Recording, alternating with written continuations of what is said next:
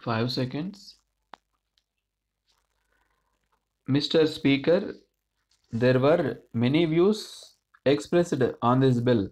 Some honorable members said that there should not be an increase in the bus fares.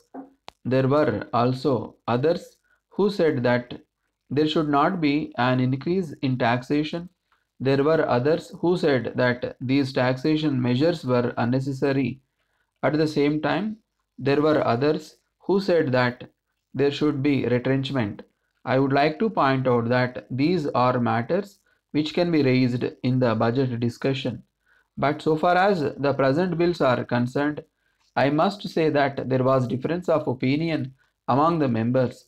I must say that some members of the select committee did not want certain articles to be taxed.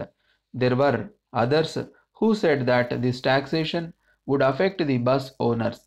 I may tell you that we have no correct statistics on this matter, but at the same time, it is not as if we have no statistics at all. Our economic advisor dealt with the whole question some time ago and he has given us some data. On this basis of the information given by him, we prepared these amendments so far as statistics are concerned.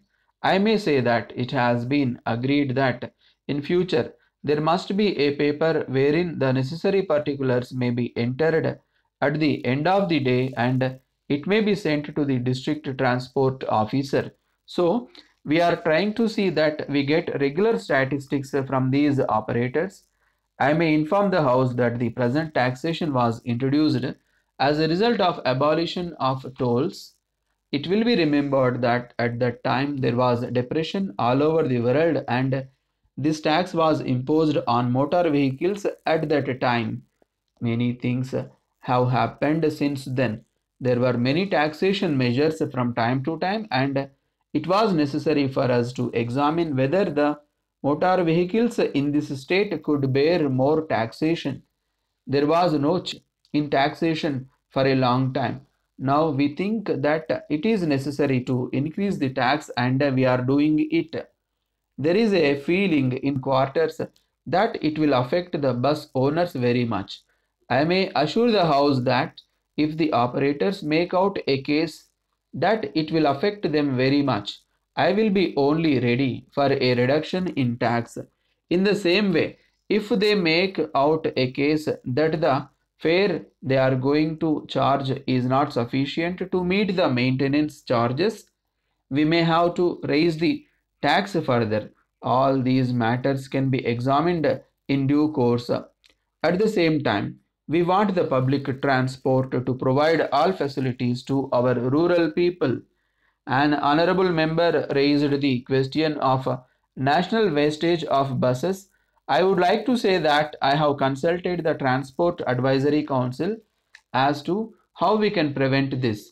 If the vehicles are idle, it is a great loss to the nation as a whole. So it is necessary to see that there is no wastage of motor vehicles. We do not want vehicles to be idle. In many districts, there are people with permits but without vehicles. In the same way, there are people who have vehicles but have no permits. This kind of thing should not be there.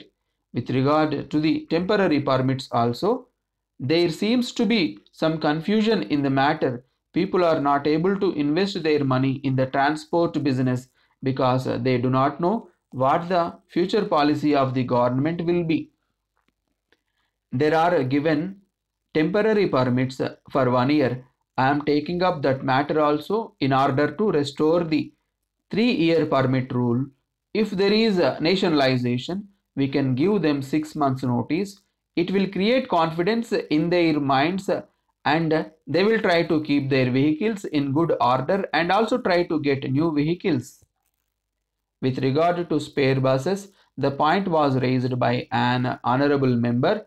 It was considered by the select committee. I would like to point out that at present there is no mention of a spare buses in the Motor Vehicles Act. We shall go into the question and see that a spare bus is not taxed in any way. I shall examine it.